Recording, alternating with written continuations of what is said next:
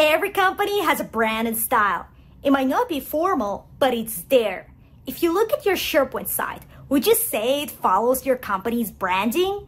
If not, then this video is for you. Because in the next few minutes, I'm going to show you how to change your SharePoint colors and fonts so your site always looks on brand.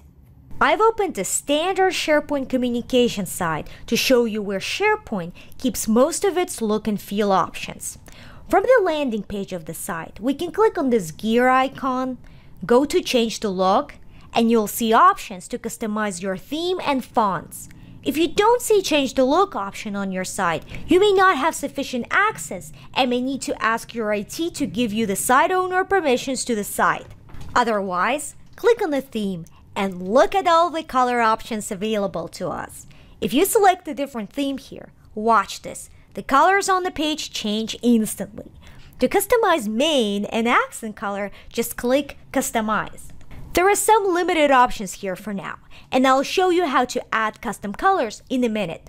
Let me first explain where these colors are used. The main color is automatically used by most elements on the page like navigation, buttons, text, and background sections. Accent color should be used sparingly to give a bit of a punch to the page. There are very few places on the page where Microsoft lets you pick the accent color.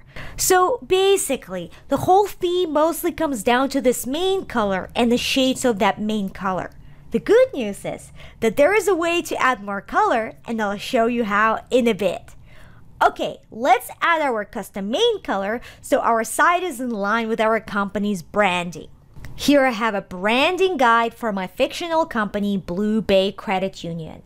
The Blue Bay Credit Union uses dark navy blue as the main color and the bright shade of blue as an accent color. Let's create a new theme for our SharePoint pages that uses these colors. For that, I'll go back to Gear and click on Site Branding. This is a new place in SharePoint where site owners can build a custom theme and use a custom font on a SharePoint site with no coding. Let's start by clicking the New Theme button to select our colors. I'll set dark navy blue as my primary color and my text color. For the background color, I'll keep white and for the accent color, I'll select the bright shade of blue. Then I'll click Next and set my theme name to Blue Bay, just like the name of my fictional company. Now we click Save and our theme is ready to go. Let's see how this theme turned out on a page. Click on the gear icon, change the look, theme, and here is Blue Bay, our custom theme we've just built. Let's click on it. Nice. My navigation, buttons, and even text are now in dark navy blue exactly as required in my branding guidelines. But wait a minute, where is my accent color? Without the accent color, this page looks a bit monotone. Surprisingly, Microsoft Web Parts make almost no use of secondary colors. But don't worry, here are three alternative ways to show more colors on any page. Number one, you can add images with your accent colors. For example, here I added an image with my accent color to a countdown timer web part. Now my page has a bit of a color variety. You can do the same with other web parts that let you add images. Number two, you can add your accent color to the text web part on the page. This is a new feature. We can go to the text web part and make the text have a different color than my main color. And number three, you can use origami and have a complete creative freedom of how your site looks like and truly make it look like a website. Skip to the end of the video if you want to know more. Now that we've learned about colors, how do you use custom fonts in our SharePoint pages? Our fictional company, Blue Bay Credit Union, uses Inter Black for their headings and Inter Medium for body text on their website. Let's make our SharePoint site use these fonts too. First, we need to add our fonts to SharePoint Brand Center, a site where SharePoint keeps all your company custom fonts. Brand Center is a new feature and your company may not have set it up yet. To be sure, send the appendix section of this video to your IT so they can set it up and give you a Brand Center URL. Once you have your Brand Center up and running, you can go to its URL that looks like this. Before you can upload your fonts, your IT also needs to give you contributor access to the Brand Center site. Brand Center site looks like a blank SharePoint site at first, but if you click Settings, Brand Center, you'll be able to see more options. Once you upload custom fonts, you'll be able to see them listed here and use them across all the other sites in your SharePoint. So where do you get custom font files? Usually, font files are part of your company's brand kit, and you can get them from your marketing team. The supported font file formats are these. As you can see, I already uploaded my font files here, but there is still one more step required. I'll need to go back to my SharePoint site to create a new SharePoint font package. Let's click on Font Packages tab, add new font package, and select our display and content fonts. Now I'll choose Inter for both of these and click Next. For the title, headline, and interactive, I'll use Inter Black, and for the body, I'll use Inter Medium. Click Next and give this font package a name. I'll call it Inter, just like the font we're using. And our font package is ready. Now that your font package is created, you can go back to your site, click gear icon, change the look, fonts, and look, our new font package is available. Do you see how the fonts on the page have changed? Our banner, text, buttons now all share the same bold font.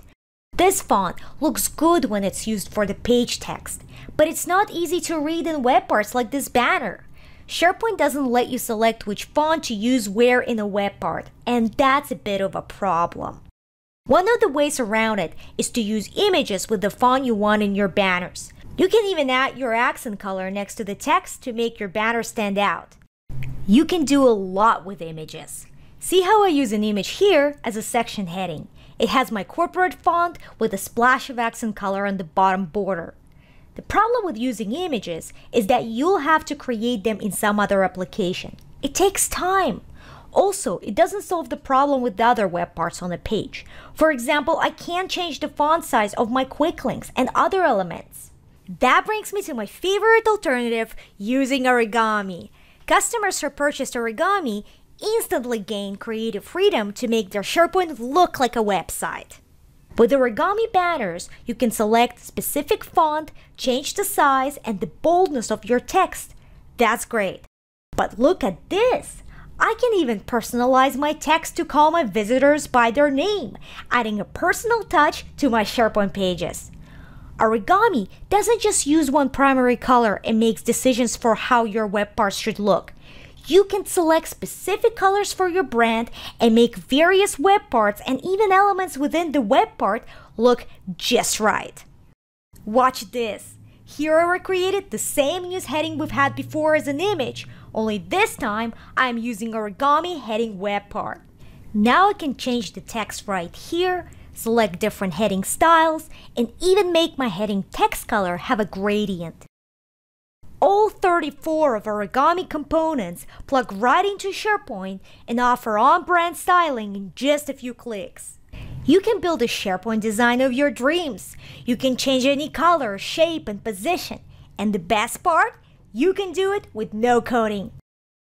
Just like you see here, you add a web part to a page and you can customize it just like any other SharePoint web part. No additional training required. Here are a few examples of SharePoint pages we've built with origami web parts. Onboarding page with new hire welcomes, documents, and an onboarding timeline. A personalized homepage with quick links, kudos, calendar, news, KPIs, and a staff directory. A search-centric homepage with post carousel, social corner, and employee anniversaries. These page templates come with every origami installation and can be easily customized to match your company's colors and style in minutes. So at the end, you'll get a fully branded SharePoint that looks like a website. Now let's move on to the appendix section of this video and talk about the steps IT needs to take to create a brand center. If your organization is new to Microsoft Brand Center, You will need to go over these quick steps to set it up before anyone can use it. To enable the Brand Center, log in as a Microsoft 365 admin and follow these steps. Navigate to admin.microsoft.com. On the left-hand side navigation, under the Settings category, click on Org Settings. In the scrollable middle section, find the link to Brand Center and click on it. In here, you can just leave the default site name and title. Check the box that says I agree to activate public CDN. This is what's going to be used to host fonts. Click Create Site, and in just a few seconds, the button that said Create Site will change to Go to SharePoint Admin Center. This is so you can now find your new Brand Center site and give authorized users access to it. Click on the button that says Go to SharePoint Admin Center. In a newly opened window, search for the site that says Brand Guide or whatever the name you chose for it in an earlier step. Set up permissions as necessary and you're done.